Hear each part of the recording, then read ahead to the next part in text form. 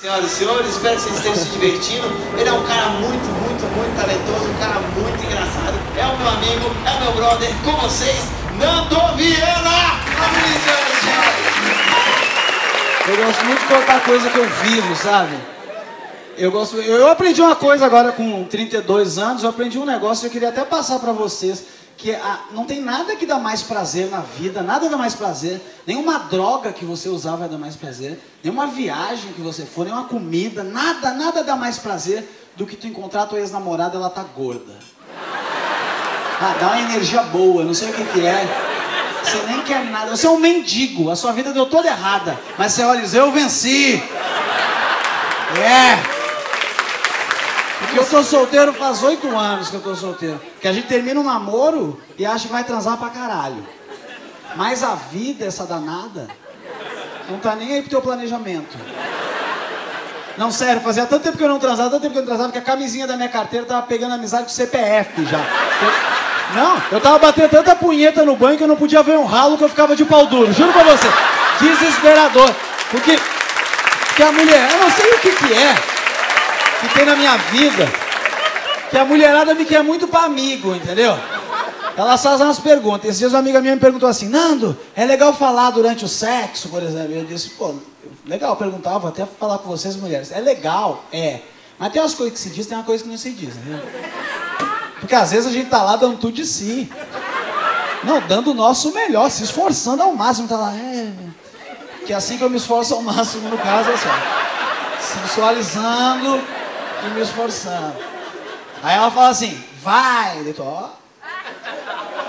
Vai é legal, vai. Eu tomei um vai, do nada. Aí ela fala assim, tá assim. Eu sou um tigrão nessa porra aqui. Então... Aí ela fala, põe tudo, e tu, cara, tá tudo. Como assim?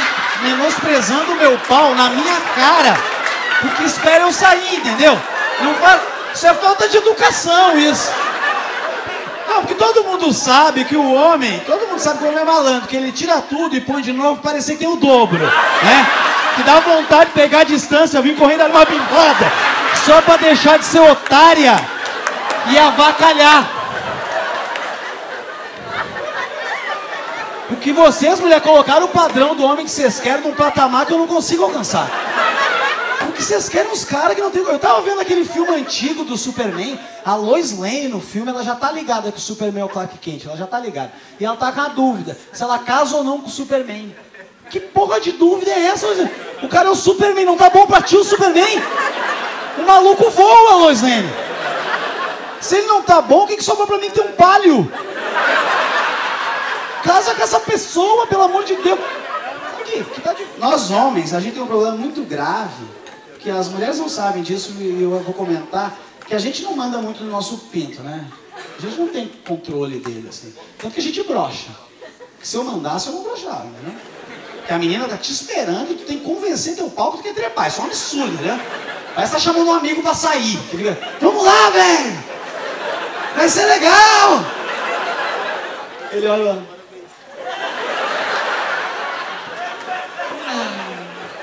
pela cueca hoje. Hoje, hoje eu tô caseiro, hoje eu tô. Porque é muito triste quando ele levanta e ele não queria estar lá naquela hora, entendeu? Parece que ele levanta aquele jeito meio com uma vontade, parece sonâmbulo, parece que acordou teu pai tem ladrão na sala, ele vem assim. Só gordinho, sabe? Textura de papelão na chuva, não parece um papelãozinho na chuva? Parece bolacha champanhe no pavê. Aí nós homens a gente tem um problema muito grave, porque, porque o ônibus é, é, é uma coisa muito da, da, da, do dia a dia da gente pegar ônibus, e o ônibus ele foi projetado para fuder com a gente, que ele foi projetado milimetricamente para você estar tá sentado e o pau do cara que está em pé ficar no teu ombro aqui, você viu isso? Tu passa a viagem toda aqui, ó. Fazendo pilates, fazendo pilates, que isso. Só que tem neguinho que é mais alto, te ligou nisso, né? Que aí é tenso, rapaz. Aí, aí é Fat Family aqui, ó. Aqui, ó. Não, olhou pro lado, distraiu, o ônibus fez uma curva, tu volta com um caralho no nariz da pessoa que nem se apresentou.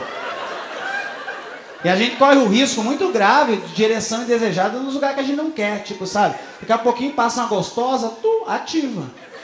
E tem um tipo de ereção que é muito particular, que os homens sabem. É, esse, é isso que eu queria falar, que os homens sabem e as mulheres não. Que é um tipo de ereção que é aquela que. Os homens estão ligados, é aquela que o pinto da gente ele começa a se mexer e ele vem subindo, subindo, subindo, puxando junto um pentelho que está preso lá na base. Sabe essa? O pinto enverga o pentelho não rebenta. O pentelho, que é de aço, o pentelho eu não estava ligado, que é de aço. Que faz um contrapé fudido na tua virilha. Tu não dá nada por um cabelo, mas tira da tua virilha tu tem um AVC na sua perna. O homem põe a mão no bolso para tentar disfarçar. Aqui vai ficar muito na cara que tá mexendo no pau, entendeu? Parece que tá montando um cubo mágico na cueca aqui, que eu não sei.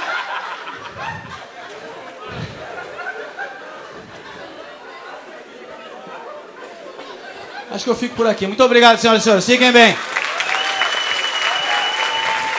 E senhores, muito obrigado. Fico feliz porque. Fico muito feliz de fazer esse negócio que a gente faz aqui, principalmente quando vem uma plateia tão a fuder quanto vocês. Fiquem bem, até a próxima. Tchau, tchau. Uh! Olha